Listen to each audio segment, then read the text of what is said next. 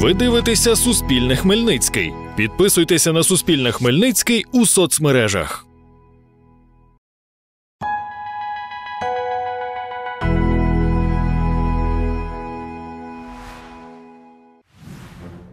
В обласному центрі попрощались із трьома загиблими військовослужбовцями. Укриття з часів холодної війни функціонує у Хмельницькому, де розташоване та скільки людей може вмістити. Повторний цвіт у ботанічному саду Хмельницького національного університету вдруге за рік розквітли кущі. Першим в останню путь сьогодні провели військового Вадима Сенчука. До повномасштабної війни чоловік проходив строкову службу моряком, розповідає його брат Віктор Сенчук. Після повномасштабного вторгнення Росії Вадим пішов захищати Україну. Люди приносять гроші, нам не потрібно нести. В нас є, треба допомагати, треба військовим допомагати. І тоді, і тоді менше ці втрати, їх буде менше, цих втрат буде. Ось так. А йому вічна пам'ять, ми йому е, ну, вдячні. Попрощатися із загиблим захисником прийшли, зокрема, друзі, рідні та односельчани. Вадим Сенчук народився і виріс у селі Виноградівка, розповідає староста села Ніла Мельник. У Вадима залишилися батьки, дружина та донька. Будучи сам важко пораненим, військовий хвилювався за своїх побратимів. Я вас прошу, каже, допомагайте хлопцям, які там. Їм дуже сильно важко. І якщо я би тільки був здоровий, я би зразу ж повернувся туди. Вадим не був професійним військовим, він був ліфтером. Але коли йому дали в руки зброю і прийшлося йому ем, йти захищати нашу батьківщину, він не відмовився, не сховався, не втік, а пішов. Прощалися у Хмельницькому із сержантом Андрієм Скорубським. Йому було 42 роки, розповідає хрещений батько Дмитро Рак. У військового залишилися батьки, брат та донька. Загинув Андрій Скорубський на Сватівському напрямку. Він рибак сильний був. На рибу дуже любив їздити. Служив він в армії, тому пішов працювати тут. Е, Потім пішов на базар, а потім в останній момент пішов на коври і звідти пішов в армію. Дали їм по повістку, і він не переховувався. Був трижди ранений, два рази контужений. 14 вересня він прибув. В отпуск, отримав медаль.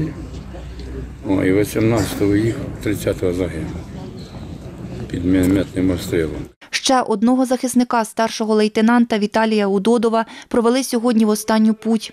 Віталій був родом з Луганська. У нього була мрія звільнити рідне місто від російської окупації, розповідає його кум Віталій Яровий. Загинув Віталій Удодов на Бахмутському напрямку. В мирному житті він був е, на керівних посадах на станції технічного обслуговування. Він просто любив життя, щоб сказати, що були якісь захоплення. Він багато любив, скажімо так, майструвати своїми руками, Е, займався виноробством, виховував донечку. Ну, Він був хорошим сім'янином, хорошим другом, хорошим керівником. Поховали загиблих військових на Алеї Слави, що на кладовищі у мікрорайоні Ракове. Вікторія Мельник, Світлана Поробок, Оксана Євтухова. Суспільне новини. Хмельницький.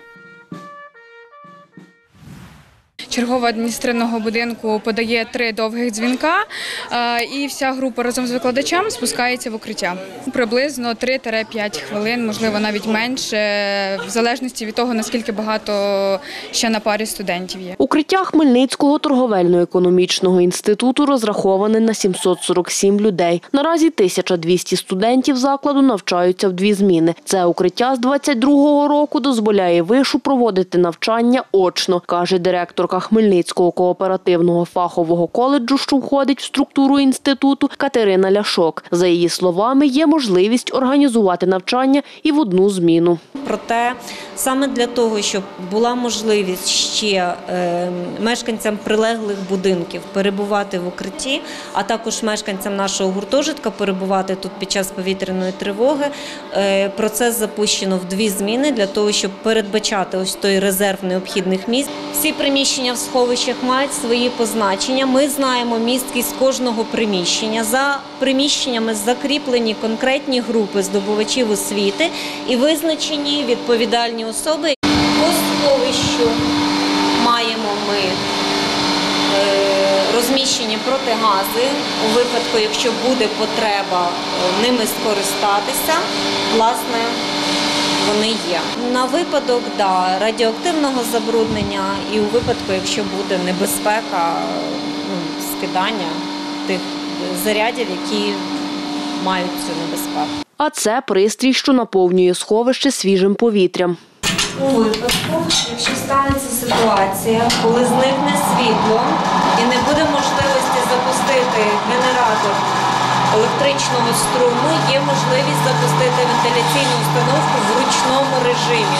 Скільки часу треба вчити? Весь час, поки потрібно подавати приток повітря свіжого. Це запасний аварійний вихід, який передбачений для того, щоб е, якщо станеться так, що буде завалені якісь основні виходи зі сховища через центральний корпус, то цим виходом можна вийти на одну з вулиць нашого міста. Приміщення закладу будувалось у 1957 році в часи так званої холодної війни між Сполученими Штатами та Радянським Союзом. Та на той час було розраховане на тривале перебування в ньому великої кількості людей, говорить президент торгівельно-економічного інституту Юрій Телячий. Ніхто не міг передбачити, звісно, спрогнозувати, як будуть розвиватись події, і е, у закладах освіти, особливо які будувались на той час, е, за проєктами просто будувались, е, передбачались відповідні укриття. В укритті в нас наявна система вентиляції, повітряочищення з фільтрами. У нас є водопостачання, е, каналізація, відповідно обладнаний медичний пункт. За його словами, наразі функція укриття не розглядається як захист від радіації. Варіант використання цього укриття як протирадіаційного наразі потребує додаткової перевірки, розповів Суспільному тимчасовий виконувач обов'язків начальника міського управління цивільного захисту Богдан Мовчан. За його словами, в Хмельницькій громаді функціонує п'ять протирадіаційних укриттів. В них створені умови, що зможуть захистити людей, які в них перебуватимуть від впливу радіації. Діана Колесник, Іван Мовчан, Суспільне новини, Хмельницький. Моє серце сталь,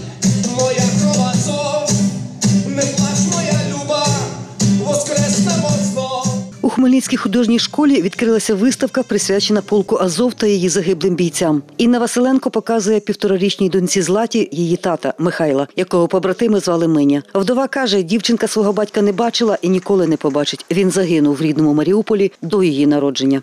23 числа я сходила на перше УЗІ, дізналася, що в нас буде донька. Ми з ним обрали вдвох ім'я, що це буде Злата. І все. Жінка розповідає, з Маріуполя з немовлям вибралася дивом. Нам просто пощастило, і я вважаю, що це він нас вивез, тому що на той момент його вже не було в живих. Інна вважає свого чоловіка Янголом, як і всіх загиблих азовців. Організатори так і назвали цю виставку Полк Азов Янголи Маріуполя. Ініціатива належить громадській організації родин загиблих захисників Серце назовні, каже її засновниця і голова Віра Литвиненко. Показувати світу, розвінчувати міфи російської пропаганди, розказувати правду про полк Азов, про оборону Маріуполя, про героїчну оборону всіх. Віра розповідає, її син Владислав загинув у березні 22-го року в рідному оточеному окупантами Маріуполі. Два дня він не дожив до 28 років. Хотів почати цивільне життя, навоювався, віддав все, що міг державі. За її словами, загін Азов дійсно був легендарним. Почитати їх біографії це еліта нашої армії. Тут е, короткі біографії, ж- короткий життєпис, бо багато хлопців і дівчат дуже молодими пішли, наймолодшому 18 років. У сина Світлани Волощук з Волині Михайла коротка біографія. Це мій 20-річний син, боєць полку Азов, який зі 17-річного віку став на захист батьківщини.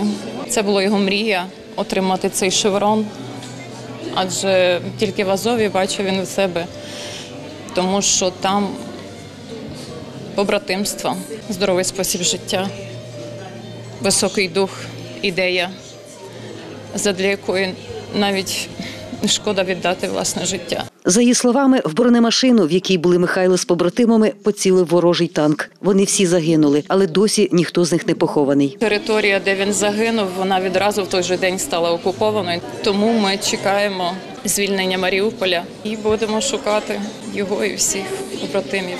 Така ж виставка, каже Віра Литвиненко, діє в Київському національному музеї історії України на постійній основі. Ця пересувна вже побувала в Івано-Франківську, Вінниці, Миколаєві і на Харківщині. Після Хмельницького її повезуть на Київщину. Світлана Поробок, Іван Мовчан, Суспільне новини, Хмельницький. Є плоди, стручки, які утворилися в результаті весняного квітування.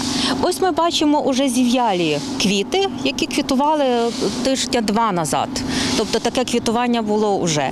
І інший пагін от зацвів зараз. Керівниця ботанічного саду Хмельницького національного університету Людмила Казімірова розповідає про кущ південних широт рокитник жовтий, який, за її словами, восени тут розквіт уперше.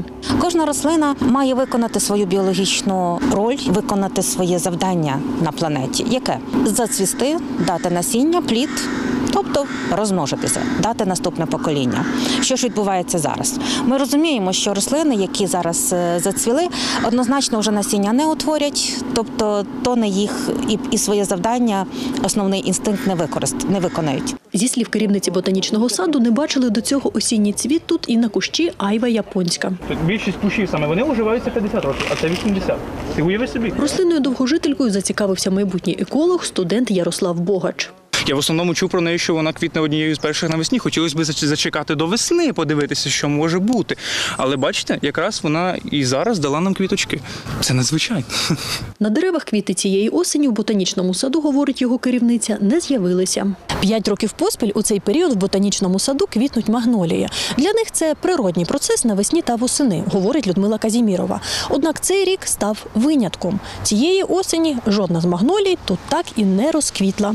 У центрі ж міста цвіт можна побачити на каштанах. Аномальне квітування дерев восени на Хмельниччині, зі слів Людмили Казімірової, спостерігається останні кілька років. Ці бруньки вже на наступний рік не заквіт не заквітують і не потішать нас своїм квітуванням. Е, Та рослина не загине. Якщо квітування буде масове, е, ну на відсотків 70-80 можна говорити, що наступного року ми цю рослину не побачимо. Повторне квітування рослин, говорить Людмила Казімірова, зазвичай є реакцією на стрес.